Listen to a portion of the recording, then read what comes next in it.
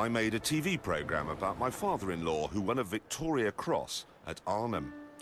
And since then, I've been on the hunt for a follow-up, another nugget of incredible heroism in the face of impossible odds. Of course, most war stories are well known, well documented, and well celebrated. The Battle of Britain, Rorke's Drift, and so on. But one day, while trolling through a second-hand bookshop, I came across a story that's hardly known or celebrated at all. It's the story of an amazing battle, a battle where more VCs were earned more quickly than any other action in the Second World War. It's a story full of ingenuity, pluck, and genuine courage. It had the lot. Having read it, I decided to do some digging. And it turned out that while very few people in the outside world know anything about this extraordinary battle, they certainly do in military circles. And they call it the greatest raid of all.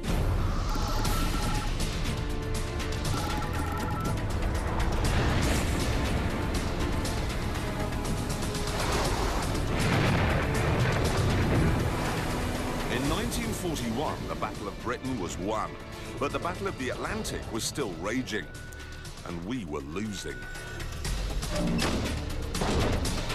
German U-boats were running amok among the convoys bringing supplies from America. Nine million tons of shipping had already been sunk, and the shipyards in Britain simply couldn't replace it fast enough. Britain was beginning to starve.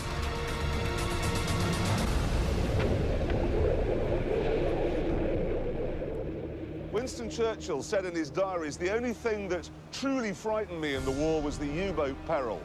Said he was even more anxious about the Battle of the Atlantic than he was about the Battle of Britain.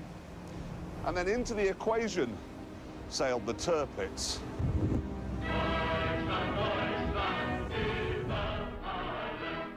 Tirpitz was the fastest and most modern battleship in the war. Even though her armor was a foot thick, she could thunder along at 30 knots. And with eight 15-inch guns, she packed a huge punch. Certainly, the Royal Navy had very little in its arsenal to take on a ship of this magnitude. And that was a nightmare for the people who worked here in Churchill's war rooms. Each of these dots on this map represents a convoy movement. If Tirpitz got among them beyond the range of the Royal Air Force, we would almost certainly lose the war. It was that simple. There was, however, a drawback to Tirpitz's size. You see, if she were to be damaged while out in the middle of the Atlantic, she couldn't very well go back to Germany for repairs because that would mean limping past Britain, past the RAF, past our coastal fleet, and that would be a death sentence for her. So she'd have to go to a dry dock on the Atlantic coast of France. But there was only one dry dock on the Atlantic coast of France that was big enough to handle a ship of Tirpitz's size. This one. This is the Normandie dock in Saint-Nazaire. It had been built in the 30s when France was making giant ocean liners. And now, to make sure the Tirpitz could never have a home on the Atlantic seaboard, it had to be destroyed. Now, the only way that you could put this dock out of action is to destroy this gate. And that was a problem. It couldn't be done with a naval bombardment because the mouth of the estuary is actually six miles away in that direction. It couldn't be done with a submarine because this whole area was crisscrossed with anti-submarine nets.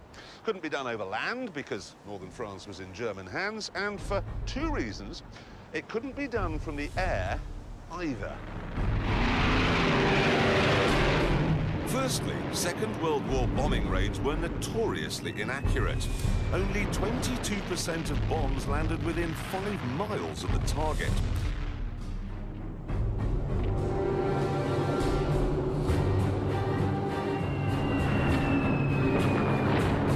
So the chances of being able to hit a dock gate from 6,000 feet in the sky were slim at the best of times.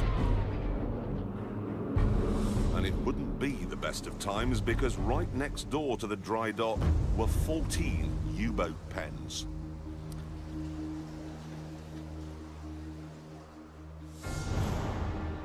These were some of the most precious facilities in the German armory, and to protect them, the Saint-Nazaire area bristled with 80 anti-aircraft guns and artillery pieces.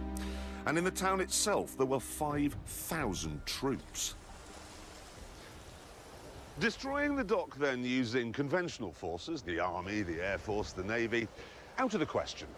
So, the job was given to a group of men who really had only just been put together the Commandos.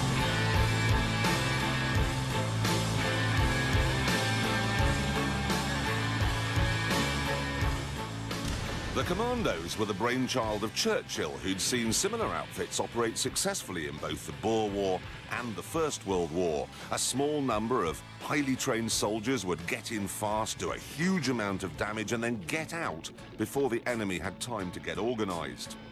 Churchill liked this, he called it the butcher and bolt approach. So what kind of men were they? Well, if popular myth is anything to go by, they were lantern-jawed killing machines who could headbutt their way through oak doors. The reality, though, was rather different. Gerard Brett in my regiment was in my commando, 12th Commando, and he'd written a book on the Byzantine age or Byzantine architecture or something. One fellow who got a divinity degree from Trinity College Dublin. Lance Corporal Potts had been a, a don at either Oxford or Cambridge. They included a poacher, a TT motorcycle rider, so a mixed bag. What they represented was a complete revolution in the concept of soldiering because they were chosen for their individuality, their intelligence, their initiative. And nobody embodied that ethos more than this man, Mickey Burn. I've got his autobiography here, and what a life. He had a privileged upbringing, Winchester, Oxford, uh, and then he met Guy Burgess, the chap who went on to become a Soviet spy, and they became lovers. Uh, Mickey, though, became a Nazi sympathiser, went to Germany, met Hitler, got a signed copy of Mein Kampf and was one of the very first people to be shown around Dachau, the concentration camp. He knew Bertrand Russell, he knew Audrey Hepburn, he knew the King and Queen, he even met Roosevelt. He really was a Telegraph obituary writer's wet dream. But all things considered, not the sort of man you'd expect to find in a commando's green beret. By the start of the war, however, Mickey had seen the Nazi threat for what it really was, and had found something else to suit his maverick streak. The Commandos. People were left to make up their own minds. In war, anybody, everybody may be killed, and what decides the action may be the action of a private soldier who's left to command a trench. It wasn't put like that, but the feeling we were given that every single one of us might be as important as a brigadier. We were all individuals, you know. Discipline did matter, of course, but I wouldn't have said it was absolutely first. The commando forces were made up of volunteers from any of the regular army units, and the philosophy of how they went about their daily business was a million miles from that of the conventional military. For a start, they didn't bother with barracks or regimental headquarters because the commandos didn't want to waste training time on mundane chores such as cleaning or maintenance. Instead, they simply got digs in a nearby town. And there was no sergeant major on hand to tell them what to do every minute of the day. Instead of saying parade tomorrow on the main square in Weymouth, it might be parade tomorrow at 10 o'clock on the um, uh, in the marketplace at Dorchester and find your own bloody way there, you know. You weren't shouted at. There wasn't any of this shouting or bullying or any, anything that you got uh, in the regular army. You led by example. So, you know, uh, the officer had, uh, had to do everything that you did. If the officers can do it, I can do it. If the officers can do it. Unfortunately, though, the British Army top brass were a deeply conservative bunch, and they really didn't like the new commando philosophy. The regular army were doing their best to get us disbanded. They hated us, some of them. We were a nuisance. And because our standards were so high, we'd creamed off the best of the people in, in the regiments. And in fact, a lot of, lot of COs uh, refused to allow people to volunteer. This resistance by the regular army certainly got Churchill's back up. What I have here is a letter he wrote to the Secretary of State for War.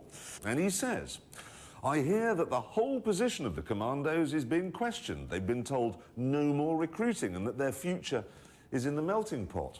Says he feels very strongly about this. Uh, says the defeat of France by Germany was accomplished by an incredibly small number of highly equipped elite, while the dull mass of the German army came on behind. And then here, for every reason, therefore, we must develop the commando idea. Pretty clear cut. As 1941 drew to a close, Japan joined the war, and the Royal Navy had to send a fleet to the Far East. So there was even less to hold the Tirpitz at bay. What's more, we were losing the Battle of the Atlantic. We were losing in North Africa, and London was in ruins. So if Churchill's commandos really could smash up Saint Nazaire, it might give a sense back home that Britain wasn't finished just yet. Everywhere almost we were on retreat, and people were really becoming negative, and Churchill wanted something which would be successful aggression.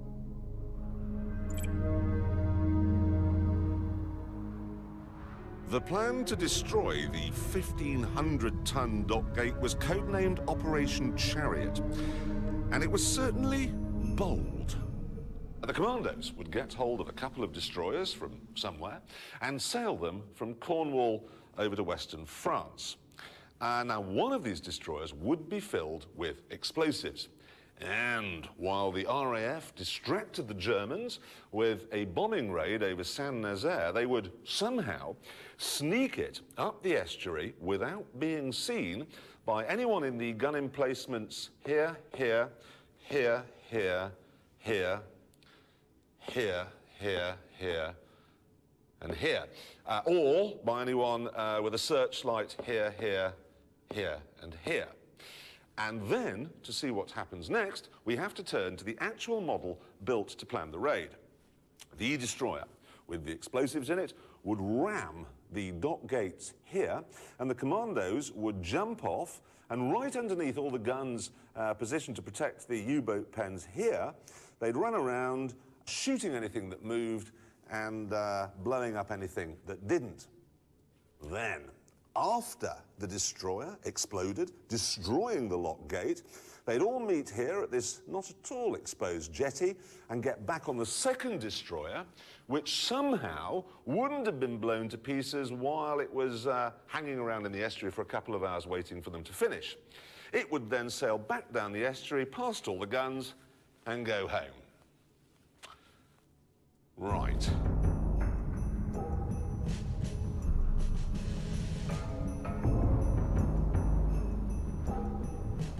The plan was presented to the War Office by Louis Mountbatten, head of the Combined Operations Unit. And unsurprisingly, it met resistance. One commander-in-chief was particularly vocal. I remember he started the meeting by saying, well, Dickie, old cock, if you're prepared to lose all your soldiers and all your ships, I suppose you can take on this task, which I regard as absolutely impossible. I said, it's the fact that it is regarded as impossible, which makes it possible. The Germans will never think we'll attempt it.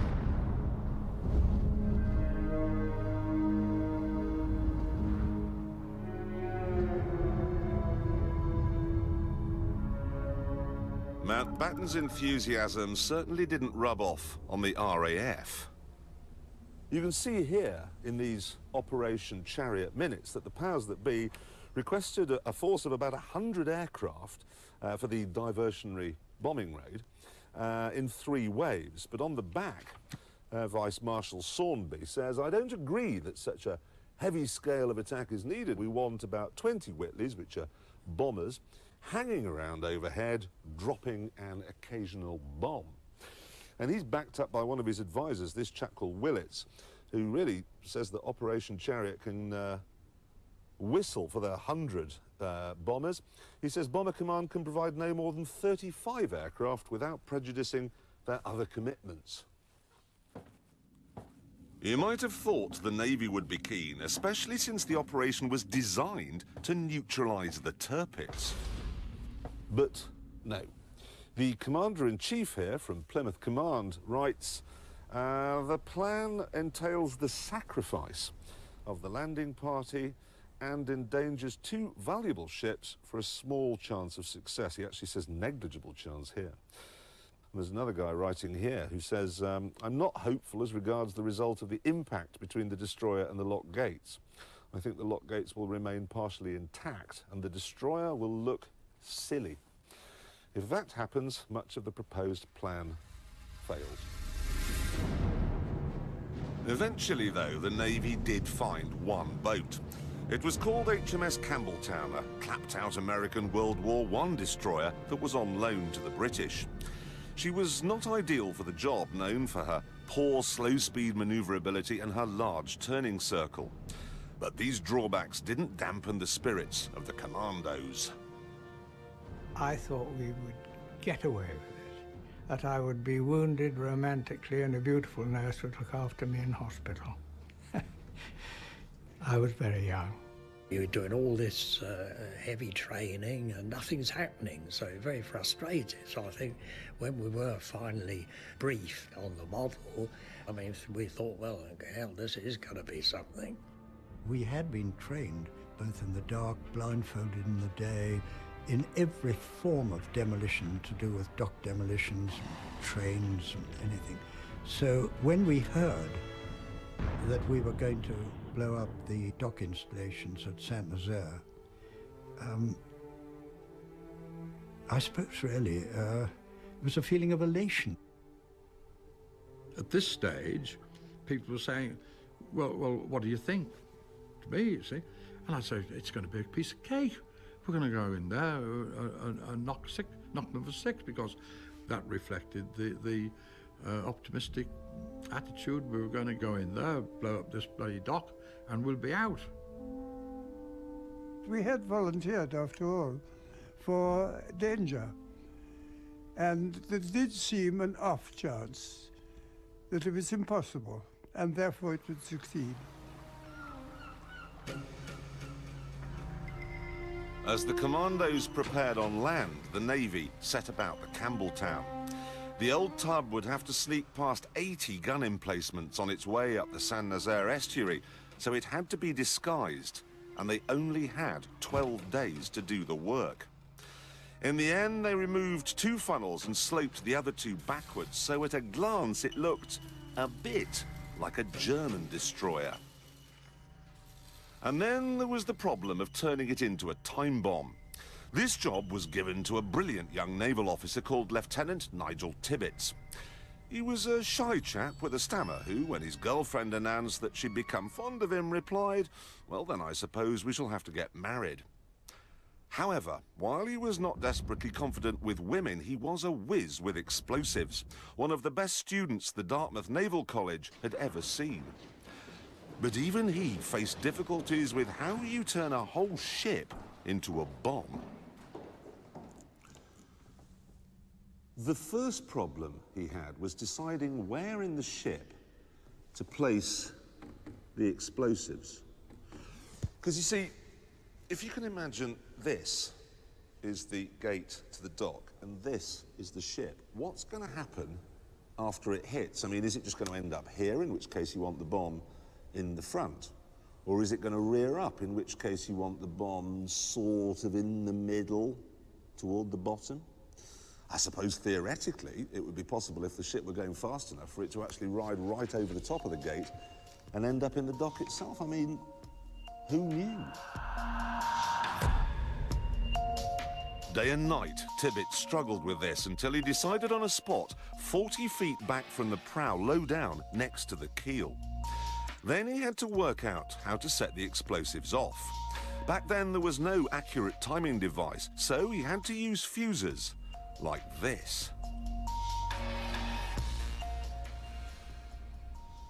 The idea is that you squeeze the top part here, which breaks a glass capsule on the inside, releasing acid that then slowly burns through a strip of wire. Now, when that snaps, it releases a spring which boings out, setting off the detonator. Now, this was very advanced in 1942, but there were a couple of problems. First of all, it was very susceptible to jolts and shock. You wouldn't, for instance, want to ram some lock gates at 25 miles an hour with one of these on board because it might go off instantly, killing everyone. It was also very vague. The strength of the acid varied from fuse to fuse, the strength of the wire varied, the tension of the spring varied.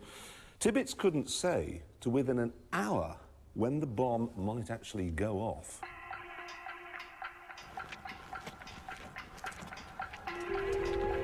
Choosing what explosive to use, however, was fairly straightforward.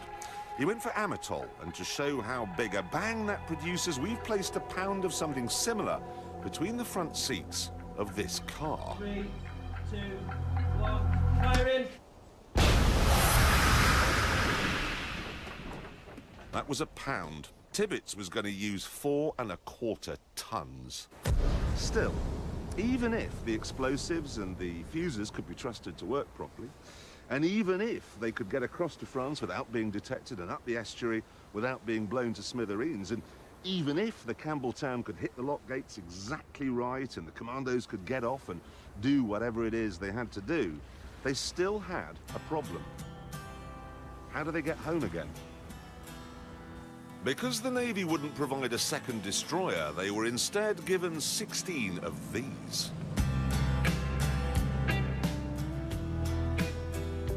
Today, this Fairmile ML is a tourist boat taking trippers around Torbay, and certainly it's better suited to this than it ever was for Operation Chariot. They're made of Bakelite bonded plywood. It was a cheap, mass production boat designed primarily to make the Navy look bigger than it really was. May God speed all who sail in her. It certainly wasn't particularly good in the open sea. It tended to roll badly in a swell, which made everyone on board queasy. It's not so bad if it was only used to bring the soldiers home, but this little fleet would also be used to get half the commandos out to Saint Nazaire as well.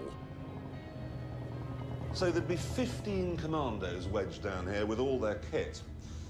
And when they got to the other end, they'd be expected to get out and start fighting immediately. It's a jerry. There wasn't only seasickness to worry about, because while each ship had small guns fore and aft, it didn't have any armor. No, really. All that stood between the German guns and the men down here were, um, a few planks of wood. And to make matters worse, each boat was fitted with two 500-gallon long-range fuel tanks, which were completely exposed on the deck. Campbeltown was a bomb on purpose. These things, they were bombs by accident. Honestly, it's hard to think of any vessel less well-suited to the job in hand. The commandos were hard men, good fighters. But they'd been picked for their intelligence as well, so they must have known that the chances of getting to Saint-Nazaire were small. The chances of doing the job were microscopic, and the chances of them getting home again on a wooden boat, groaning under the weight of exposed fuel tanks past an alerted enemy were virtually non-existent. They must have known that Operation Chariot, for the vast majority, was going to be a one-way ticket. We were all of us told if we wanted to leave a letter for our next of kin or our loved ones, you could do so. And you wrote on the envelope to be posted in the event of my failing to return. And there was one, Sergeant Bill Gibson, who um, I knew them all very well indeed. And I remember seeing his face, and I knew he knew he was going to be killed. My dearest Dad, by the time you get this, I shall be one of the many who have sacrificed their unimportant lives for what little ideals we may have. I can only hope that by laying down my life, the generations to come might in some way remember us and benefit by what we've done. At a time like this, I turn to you, Dad, and God. I hope there will be peace for everyone soon. My love to everyone. I'll remember you. Your loving son, Bill. Somehow I thought it's unlucky to write your last letter to your parents. no, my attitude was I'm coming back. Two of uh, men came to me and said, would you take these letters home to our wives if we're killed? And I said, but wait a minute, I'm going with you. Oh, you won't be killed, I said. They were both killed. The Saint Nazaire raiders weren't allowed to reveal details of the operation to their loved ones. But for the bomb designer Nigel Tibbits, recently married and the father of a young son, the thought of keeping his wife in the dark was too much. So he told her. And she said afterwards they both sort of knew he wouldn't be coming back.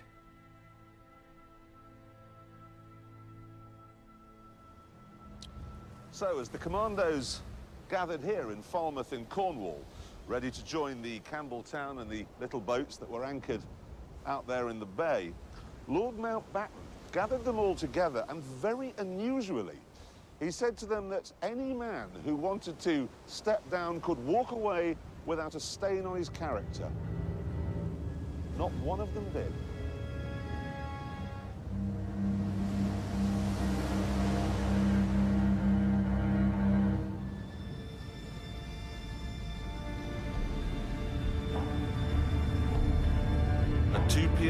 26th of March 1942, the Armada set sail with 264 commandos and 357 Navy personnel on board. That's a total of 621 men.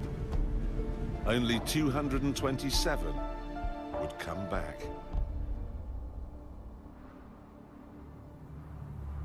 I had just enough light uh, to read a book that I, that I was, was, was reading, and I just concentrated on reading this book. The thought that crosses your mind is, I hope I'm going to be able to do my part, uh, you know, without being uh, overcome by, by fear. We chatted to each other about what we're going to do, and I, we all went through it with our blokes, you know. I, I and my four guys just went through what we were going to do. I certainly thought to myself, my God, I hope I'm not going to show fear in front of my men if I'm frightened. Tense, I suppose, would be the thing. Uh, anticipation, yes. Fortunately, I think we were more worried about it, the, the, it being rough, because uh, it's very, uh, as you can imagine, physically exhausting to be seasick all the time. But we were lucky. It was calm. 33 hours later, they arrived at the mouth of the estuary, and the captain of the Campbeltown, Lieutenant Commander Sam Beattie, instructed Tibbits to set the fuses on his bomb. He then began to creep up the estuary. Ideally, he'd have stuck to the deep water channel, the channel the Tirpitz would have used. But this would have meant hugging the northern shore right under the noses of the German sentries. So he had to go right down the middle, despite the fact that the water, even at high tide, was just 10 feet deep. To reduce the ship's draft, much of the heavy armor and the big guns had been removed. So if she did become grounded, she'd be a sitting duck. We did go across sandbanks a couple of times and dragged a bit going over. Um, but it was so quick that you hadn't got time to think, good God, if I'm marooned here, I'd be shot to pieces. It's hard to know, really, what the German gunners in this pillbox were doing when the Campbeltown chugged by. I mean, yes, she'd been hurriedly converted to look a bit like a German ship, but she was trundling right down the shallows. You'd have thought that would have alerted them to the fact something was up, but obviously it didn't because they didn't open fire. And nor did the guns at the next pillbox or the one after that. But then things started to go wrong. The RAF had finally agreed to stage a bombing raid, but the pilots had been told not to bomb if there was cloud cover in case they hit French civilians. Unfortunately, it was cloudy, and they hadn't been told what to do instead. So they just flew around, alerting the Germans to the fact that something was up. Their flak guns turned very easily down onto the uh, surface of the river, plus their searchlights. With the Germans now suspicious, the Campbeltown's Heath Robinson modifications and fake German flag wouldn't fool them for long. And sure enough, they were soon challenged by a signal from the shore. But the British had a trick up their sleeves. We found the, um, the German code books, naval code books, and the Germans didn't know we had them. And so we had the up-to-date passwords and countersigns, and uh, we were using them much to the consternation of the, the German signalman who was flashing signals asking who we were. And we were, we were flashing back the right answers. We're a friendly force coming in for the night. We've got a damaged ship or something like this, you see, and putting them off. Twice, the Germans opened fire, but each time they were silenced by reassuring signals coming from the Campbeltown. This meant the ships could get nearer and nearer to the target. Eventually, though, the Germans realized that, yes, unbelievably, it really was a British raiding party sailing right through their front door. They managed to get to this point here, just 2,000 yards from the dock gates, which are kind of just round the uh, headland. Maybe you can see it just over there. And all hell broke loose.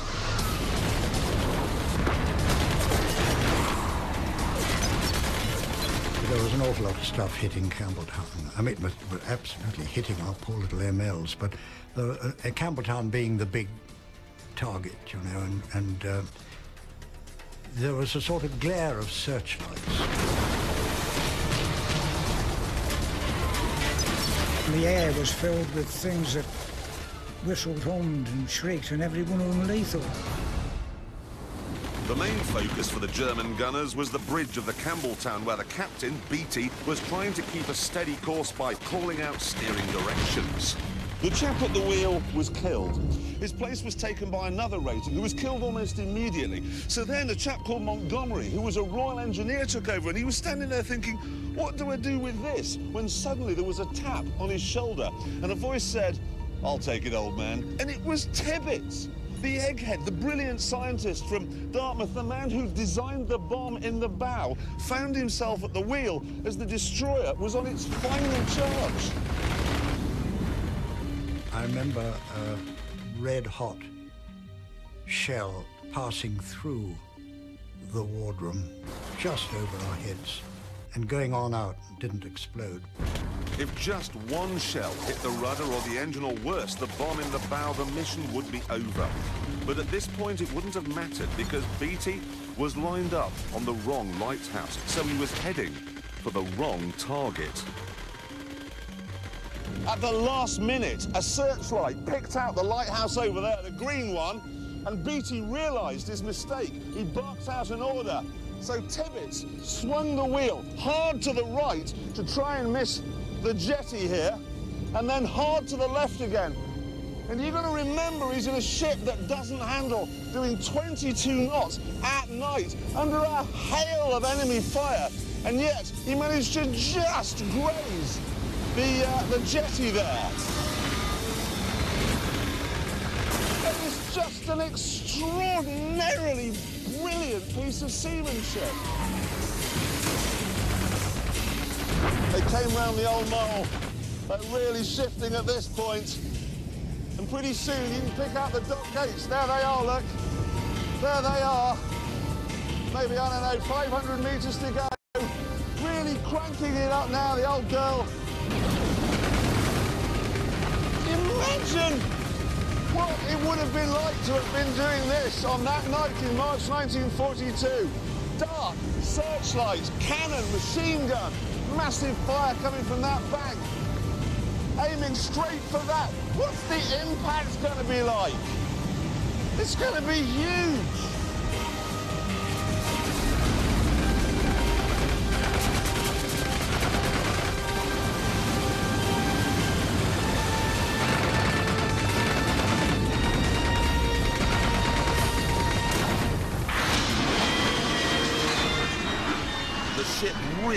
Putting Tibbits's four-ton bomb right over the gate. And despite the firestorm, Beattie turned to his men and said, well, there we are. Four minutes late. The Navy had done its part of the job brilliantly. And now, in the two and a half hours before Campbeltown blew, the Army had to get ashore and create havoc. Yes, the Germans had fixed gun emplacements, and yes, they outnumbered the British by 20 to 1. But that was no problem, because the raiding party, remember, were commandos. They may have been picked for their intelligence and free thinking, but my God, they were tough.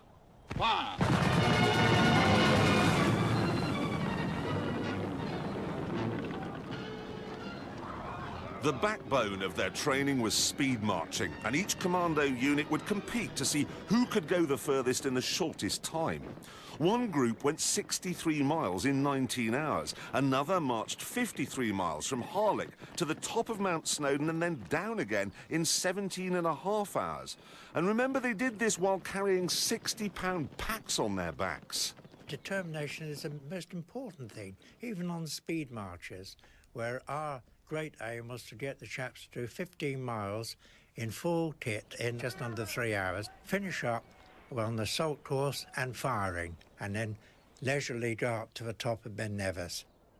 It's all part of mentally uh, equipping them to do anything.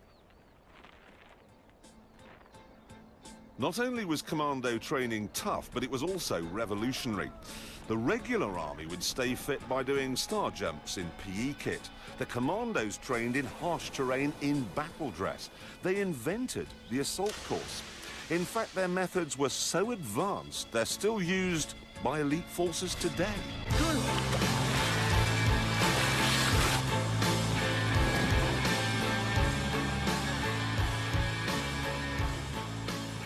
a determination, doing things which you thought you couldn't possibly do, like on the Tarzan course, on a rope bridge or the death line. And don't forget, the chaps and commandos weren't super men. They were ordinary chaps from all walks of life, but they were trained well, trained to get the edge.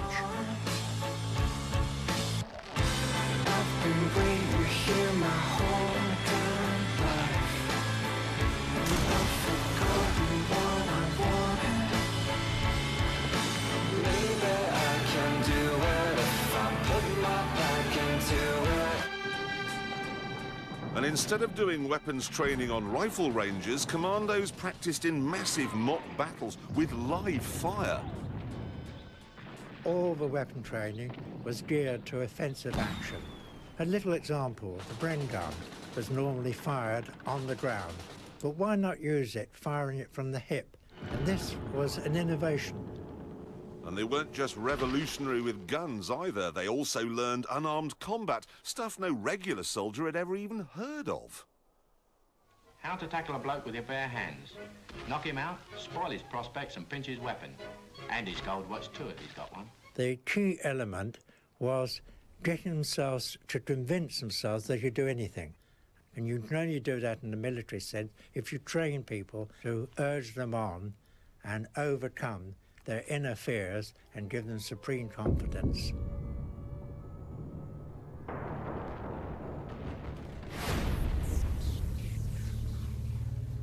Back in Saint Nazaire, the commando raiding party would need all that confidence just to get ashore.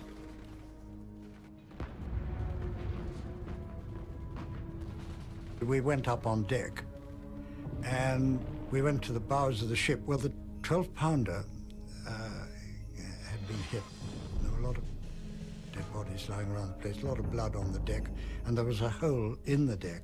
I remember Johnny Proctor lying there with his leg blown off, cheering us on. When I came up on deck, there was a brilliant flash and a ear-shattering explosion, and I felt a blow on my knee, which felt like a sledgehammer, and it, it knocked my knee on one side, and I fell to the deck. And I was lying there, and suddenly somebody grasped the rucksack and pulled me on my feet and said, "You're all right, lad." And it was Major Copeland. He said, "Bamboo lad at port side. Don't hang about here. It's decidedly unhealthy." Tibbits and Goff were there, and they were holding their scaling ladders, and these two chaps were laughing and swearing and so on. And I think we probably dropped maybe even eight feet down onto the onto the dock. The next thing was uh, Germans, and they said, um, uh, "Handy hoch," and I said, "Handy hoch to you."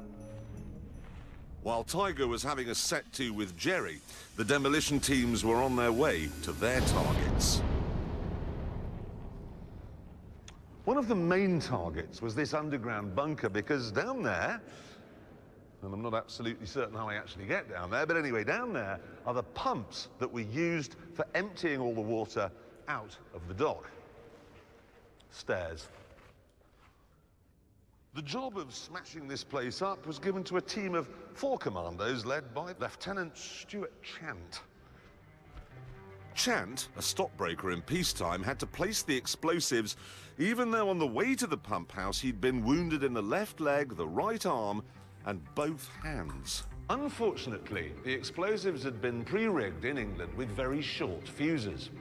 So, Chant sent his men back up to the surface in relative safety, knowing that when he lit the fuses, he'd have just 90 seconds to climb seven flights of stairs and find his way through this maze of aerial walkways in the pitch black because there was no light down here then, while pretty badly wounded. He was a brave man.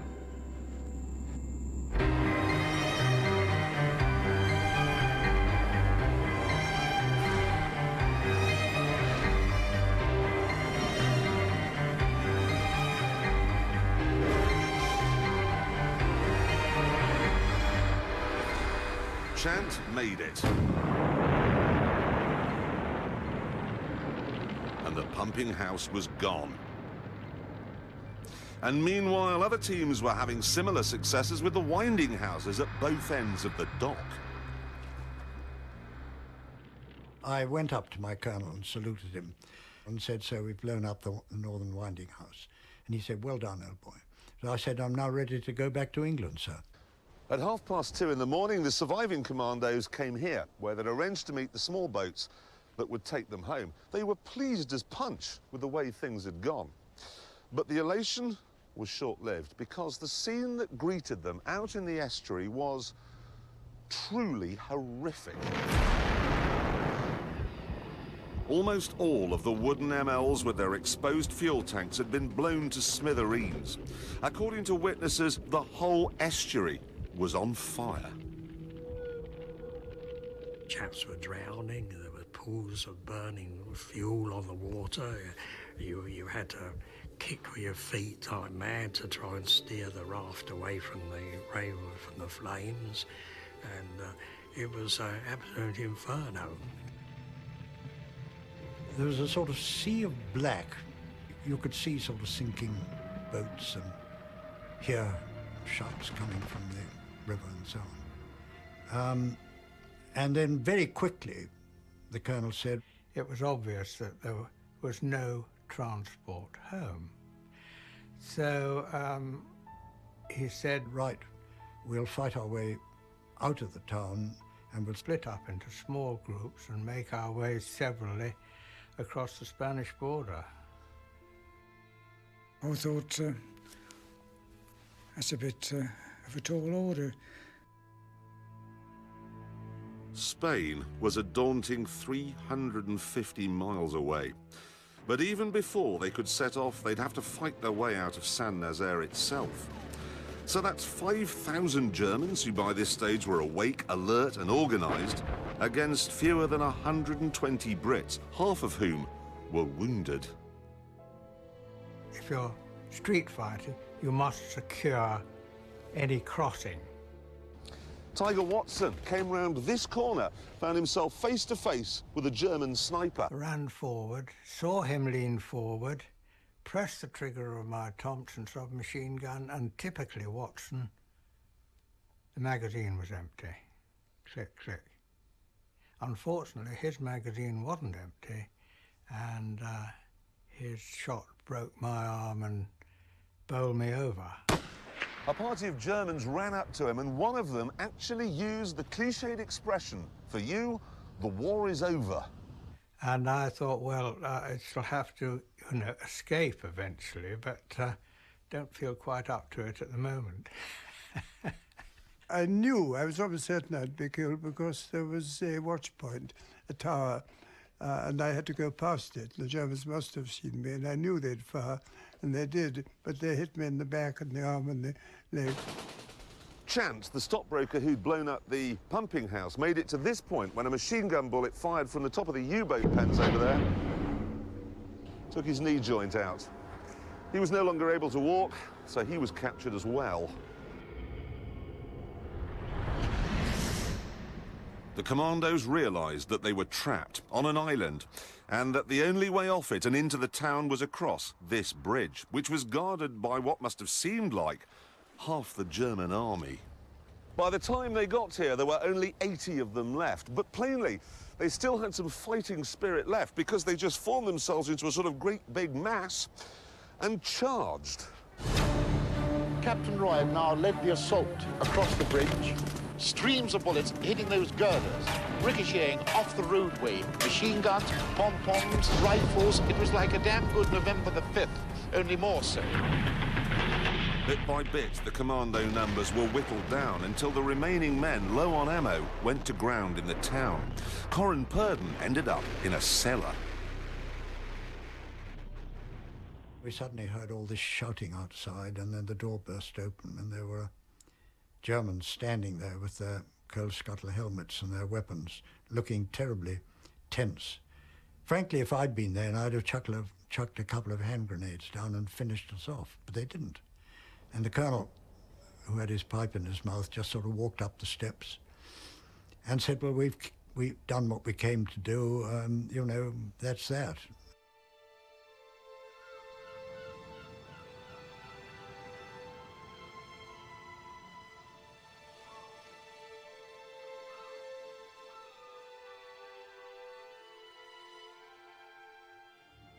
As dawn broke, the battle was pretty much over. Just five of the landing party would eventually make it to Spain and freedom, and 222 would escape the horror on the few remaining wooden boats. Of the 600 or so men who'd come to France the previous evening, 214 had been taken prisoner, and 168 were dead. And worse still, it was now 7 a.m., three hours after the bomb in Campbeltown's nose was supposed to have gone off. After we were washed ashore, we were put in the back of the lorry, driven into the town, and we were in this this big room. And they, the, uh, Germans brought in a, a sailor. They fished out of the river and put him on the table and, and said, "Mm, you know, you try and revive him. And we, we tried to get the water out of his lungs. And by this time, uh, we were saying to one another, you know, the, the Campbeltown hasn't gone up. The British could only console themselves that despite the failure, they had at least fought like lions. They were patting us on the back now, the Germans were amazing. Yes, they, I mean, they probably couldn't believe it that, uh, that anybody would venture up into a submarine base heavily defended. Some of the stories of bravery were incredible. Out in the estuary, one of the surviving MLs had gone head-to-head with a much more powerful German destroyer. The British gunner, a commando called Sergeant Tom Durrant, was asked to surrender on a number of occasions, but even though he'd been shot 16 times, he kept on firing. Until he was overcome by the loss of blood and passed out. But the story doesn't end there, because the captain of the German destroyer was so impressed by Durrant's bravery But when he landed, he took the trouble to find the most senior British officer and said, look, I don't know who was on that gun on that little ship, but whoever it was should get your Victoria Cross. And he got it. One of five awarded as a result of the action that night. So the commandos had fought well, but all they had to show for it was a destroyed pumping house and two damaged winding stations. Even at 10 a.m., the Campbeltown still hadn't exploded. And by this stage, the ship was crawling with German souvenir hunters. There was a real possibility the bomb might be discovered and defused. At one point in the morning, Mickey Burn was marched along here, right past where the Campbeltown was embedded in the gates, and that called for a remarkable piece of acting. He couldn't look pleased that it was crawling with Germans, he couldn't look quizzical, wondering why the bomb hadn't gone off, and nor could he look afraid that it might go off at that precise moment, blowing him to pieces. Among the prisoners was the Campbeltown's captain, Sam Beattie, who was being held in a nearby hut. I was interrogated by a German who spoke very good English. He discovered that I'd been in Campbeltown, and he was remarking that it was no good ramming a stout caisson like that with a flimsy ship. At that moment, there was a bang.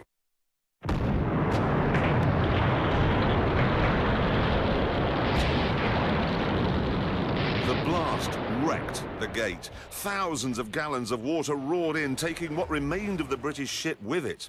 And the German souvenir hunters? They found bits of them on the roof of the U-boat pens, 400 yards away. A German petty officer rushed into the room where we were lying, saying, We're going to shoot you all, we're going to kill you all.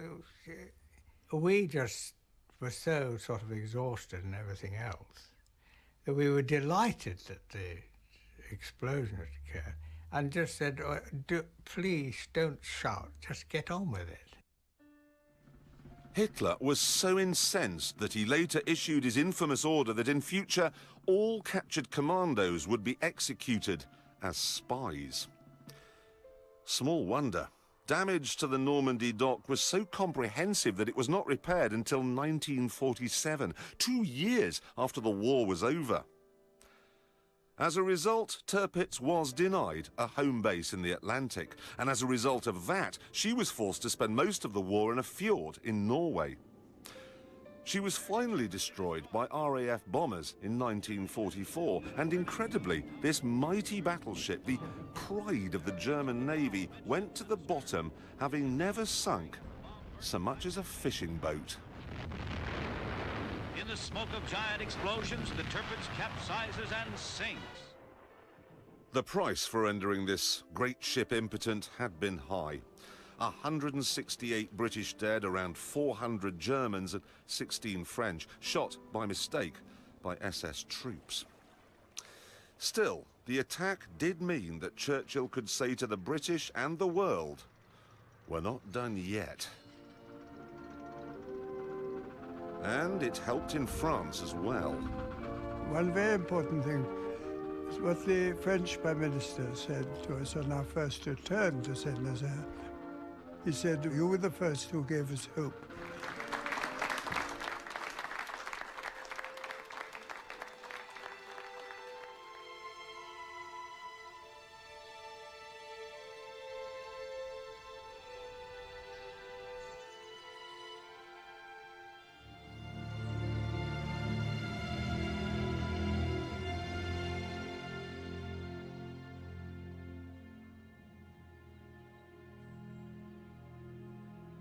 What of the men, the commandos and the sailors who brought them on this, the greatest raid of all?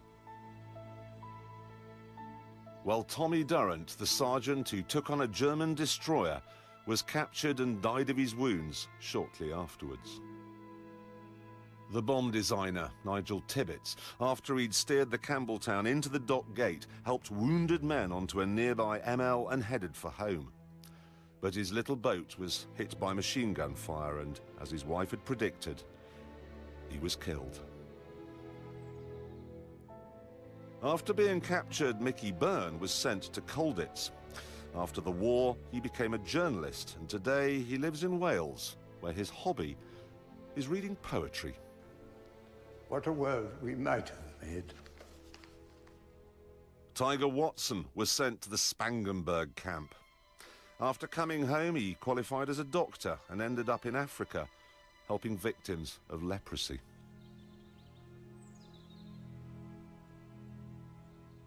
I can't imagine all my senses being so alert. You know, every sense of hearing and looking and your heart pumping. Well, certainly will be the, the most exciting thing of my life. It made you feel that you you could stand up to the test. I think that was a relief to know that one didn't fall apart. I'm sure the youth of today would do the same as we did. I'm sure they would. I think that somehow or other it's a, such a strange thing that phlegmatic British do this sort of thing, and I could see us doing it again. But I'm always reminded when I think about this, and it was after the war, I came across a quotation by Mark Twain, who said that uh, courage is uh, recognising fear, courage is conquering fear. And that's absolutely true, couldn't be truer. Yes, you were afraid, but you couldn't afford to be a coward. Today, the great moments of military history are marked with imposing monuments, and their anniversary is honoured with much pomp and ceremony. But to find a memorial to the greatest raid of all, you have to go to a car park in Falmouth, in Cornwall. It's just a rock propped up against some railings, and it seems rather small.